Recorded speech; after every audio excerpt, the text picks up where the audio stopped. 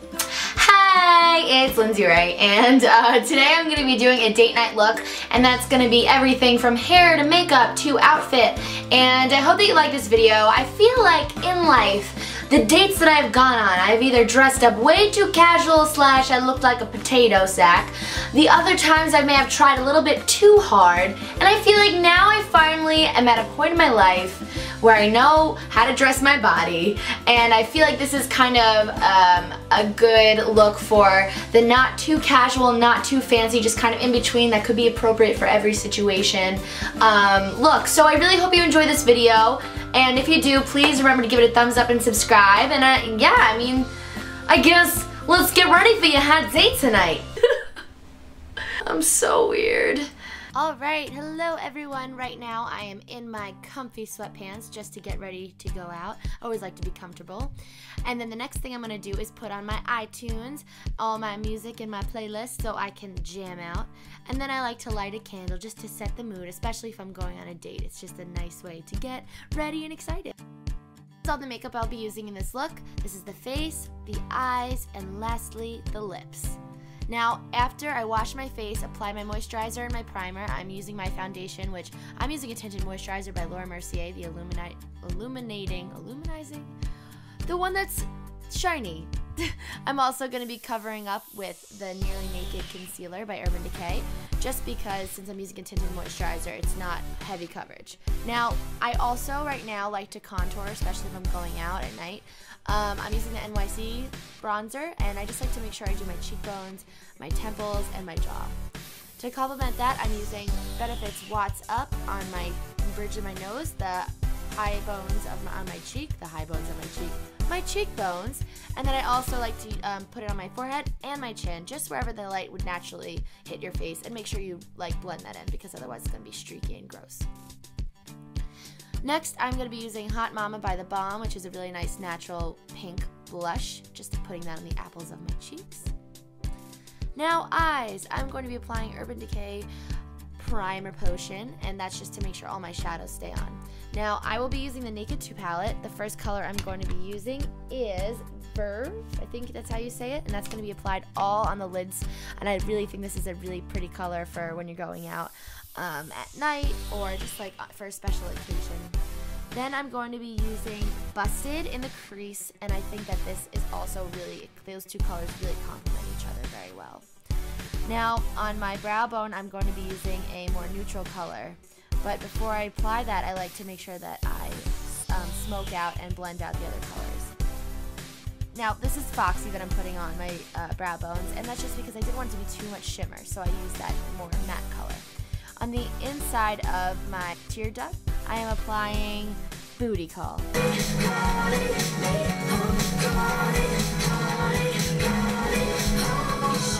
And I jam out when I get bored.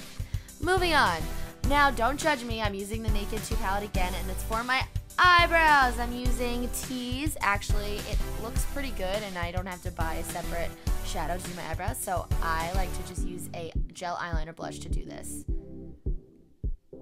Now I'm using a Makeup Forever Aqua Liner in white, and I just put that on the inside of my waterline, and using the Stila liquid liner to do a nice line on the top of my lids and also a little bit on the bottom, not in my waterline. I don't put black in my waterline. Then I apply the Benefit mascara that I'm absolutely in love with, and just curl your lashes, apply a little bit of Blistex, and a little bit of liner. I use lips, uh, Blistex as a primer actually for my lips. For the lipstick that I'm going to be using red. And this is just a Revlon red lipstick. I got it from CVS. Wow, that is really red. Um, but I really love it. It's a really pretty color. Then to top that off, I'm going to be using Stainiac, which is just kind of like this red lip stain. And I got it in Birchbox, and I just kind of put that on top to keep everything in place. And that is the finished makeup look. It's very natural. And I don't think that it's good to look like a clown on like a first date too. Next is hair. So I already do a whole tutorial on how to get this bouncy hair look um, with curls. So I'm just gonna speed it all up, but basically I'm curling my entire head. Really easy, you can use a straightener. You don't even need to use a curling iron, which is like the best part. And now I just like to brush all the curls out so they don't look too like you're trying too hard. Make them a little messy. And for date night, I always think it's fun to just like do a, a little bit of like some kind of pulled back hair look. So I just pulled two pieces of my hair back to give it a little something different. Now, though, we gotta get clothes. Oh my goodness, what are you gonna wear on your date? Right now, I need to get out of my sweatpants and try on the first look. Biggest first problem is dressing in clothes that you might love but don't necessarily flatter your body. Next mistake is sometimes you try a little too hard, and I'm sorry, but I could never be that girl that walks out like a hoochie mama. Lastly, when you find how to dress for your body, that is like the ultimate step. I think that you can make yourself look really classy while still showing off your curves. I love this look. My skirt is by Forever 21. My top is by Forever 21. And lastly, to you know, balance this outfit out. I'm just going with some simple black flats and the outfit for a first date or any date or just even going out with your girlfriends. I'm going with a simple Tiffany's duo of bracelet and necklace, putting in some Anthropologie earrings to match silver. And I think that the simple simpler the better, especially with the patterned skirt. But anyways, this is the finished look. I think it's so fun and flirty. It's casual enough yet formal enough to fit any kind of date. Enjoy! So that is my date look. I hope that you enjoyed this video. If you're gonna take anything away from this, please let it be these things. One, don't dress like a hoochie mama. If he's only looking at you for your body, then you gotta keep walking and find someone that will love you for you, girlfriend. Two, dress for your body type. That's a huge thing that I've learned over the past like five years is how to dress for my body. And three, have fun. This is a date. Don't be too nervous because We've all been there, I've been there, so just enjoy and have a good time and be yourself. So thank you guys so much for watching. I love you all so much and please remember if you like this video and you like this outfit, give it a thumbs up. And until next time, love you. Leave me comments what you want to see next. Give me suggestions in the bottom bar. Love you guys. Bye-bye.